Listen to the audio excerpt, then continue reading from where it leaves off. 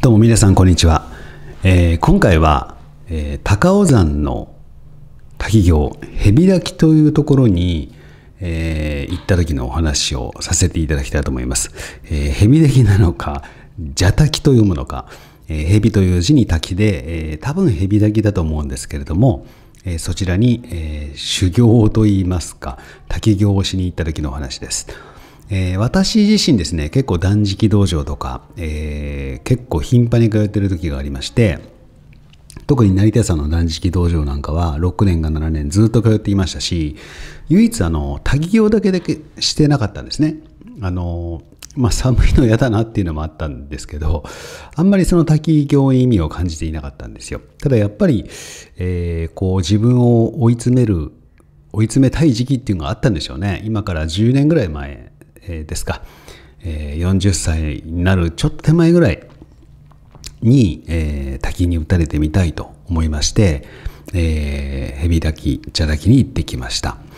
え滝行といってもあのよくあるあのエンターテイメント性が強いあのツアーなんかで行けるような滝行ではなくて本当に修験者が行くような滝ですね。あの誰もそういうチャラチャラした人が来ない、まあ、そういう場所がいいなと思ってこちらを選びました。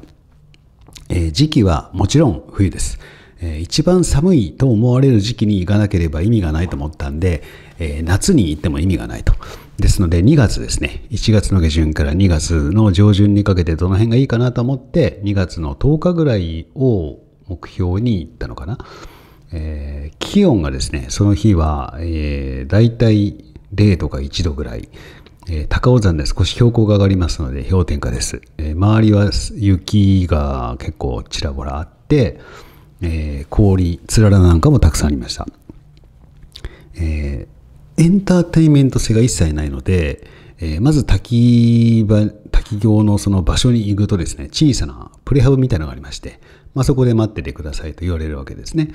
えーそして滝に入るための諸費用が3000円かかります、えーでエンターテインメント性がもちろん先ほど何度も言うようですけどもないのでお茶も出てきませんしお茶菓子もありませんし暖房もないです。こたつもないです、えーそういう中で、えー T シャツ T シャツ1枚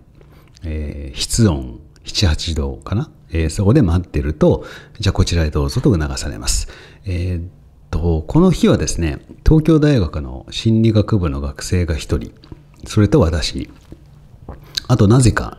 とだけチャラい男性が2人いて、合計4人で伺いました。えー、滝に入ることになりました。えー白装束のようなものに着替えて、もちろん下はすっぽんぽんです。えー始まるんですけれども、お皆さんの滝行っていうとですね、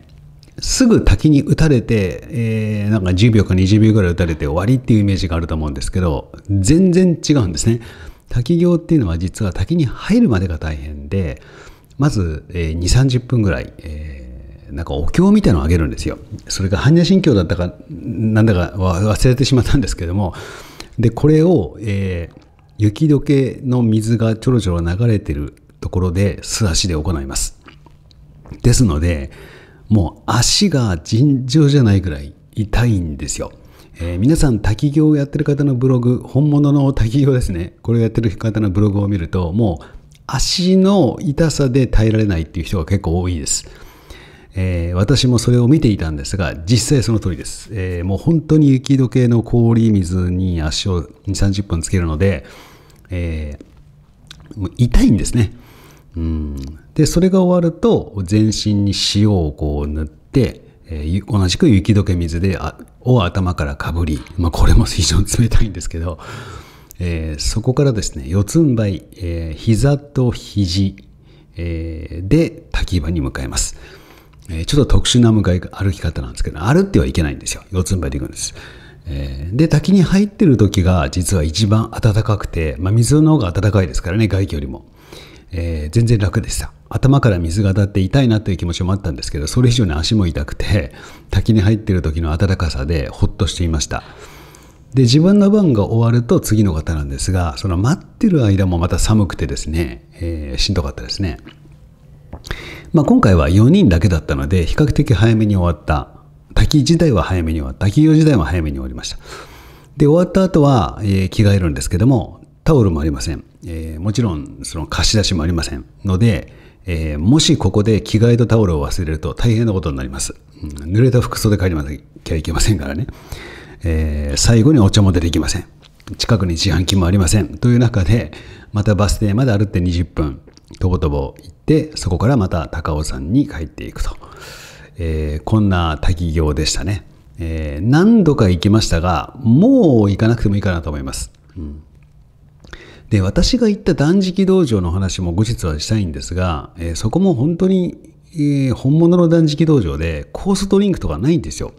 基本的にはもう水のみなんですよ。水っていうかもうあの常温の水ですね。常温水だけ、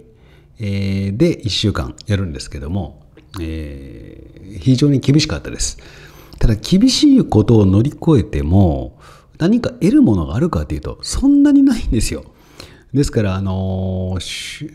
空海でしたっけ？なんかね、あの、苦しい修行かなんかをやり終えて、あ、だるま大師か。だるま大師が8年間座禅をして足が動かなくなって何か得るものありましたかって聞いたら何もなかったって言ってましたけど、まあ、それはいろいろ感じるものがあった上であえてもう人間の言葉で表すことはないよという意味で言ったのかもしれませんが私自身あまり苦しい中にですね、えー、何か見出すものはないのかなという気がしています。っていうかしました。うん。なので、えー、あまりおすすめはしませんということをお伝えしたかった動画です。ありがとうございました。